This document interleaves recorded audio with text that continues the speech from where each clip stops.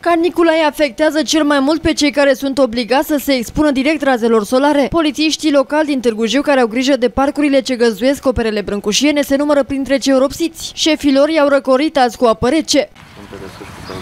Este cald, dar ne facem datoria, asigurăm evitarea întrei de artă până infinitului, clima de siguranță și ordine civică. Am adus apă dacă e nevoie pe stație anunțăm speceratul.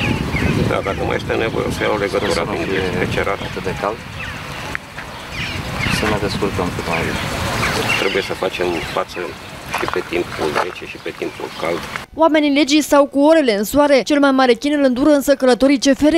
În tren e liniște acum, dar e insuportabil de cald. Chiar foarte cald. Ce să facem? Geamurile deschise, curentul ne vâjie capul, că altă... Nu avem altă soluție. Asta este. Încercăm să ne descurcăm cum putem. La fel de greu se descurcă și angajații CFR. Apă, multă, suc și sănătate. În vagoanele vechi ale regionalei CFR Craiova, aerul este irrespirabil. Trenurile au avut întârzieri de până la 60 de minute din cauza căldurii.